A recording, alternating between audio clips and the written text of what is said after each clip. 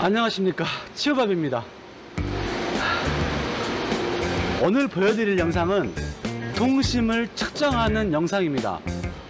시중에 판매하는 제품들이 있습니다. 있는데 저 나름대로는 굉장히 고가들이더라고요.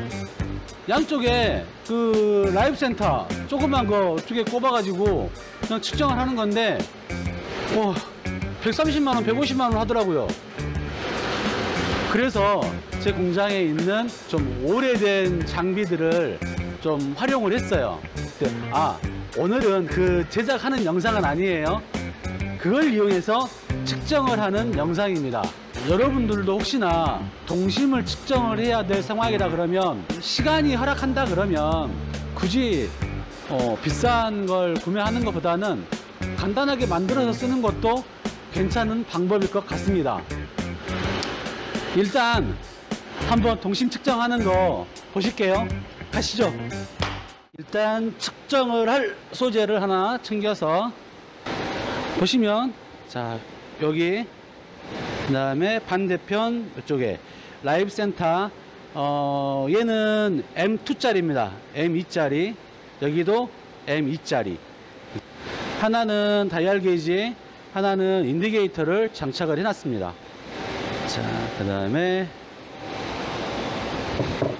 한쪽 끝을 이물질이 없는지 확인을 한 후에 여기에 놓고 거치대에 올려놓은 다음에 얘를 올린 다음에 여기 레바를 자, 그래서 확인을 하면 이쪽 굳이 여기는 0으로 맞출 필요는 없습니다. 이쪽도 마찬가지고 현재 바늘에서 이제 이동 거리만 볼 거니까요. 그 다음에 최대한 눌리지 않게 얘를 돌려서 확인을 합니다. 이쪽 먼저 확인을 하면 어 100분의 3 100분의 3 정도가 돌아가고요. 이쪽은 100분의 1 이내에 들어와 있죠. 이렇게 해서 저는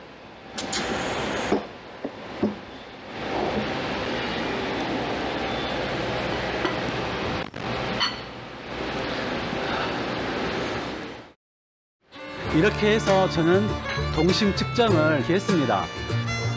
물론 돈이 충분히 여유롭게 많다 그러면 뭐 시중에 나와 있는 동심 측정기를 구매해서 어, 사용을 하는 것도 좋은 방법이겠지만 요즘같이 어려운 상황에서 시간이 좀 여유가 있으시다 그러면 일이 없다고 한탄만 하실 게 아니라 음, 그동안에 생각했던 것들 네, 이런 기회를 통해서 하나씩 하나씩 만들어 보시는 것도 괜찮을 것 같습니다 아, 어떻게 재밌게 보셨습니까?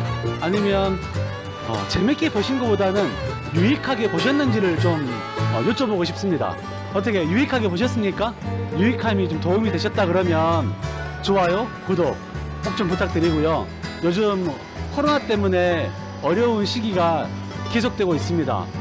다들 이 어려운 시기를 잘 극복하시리라고 믿습니다.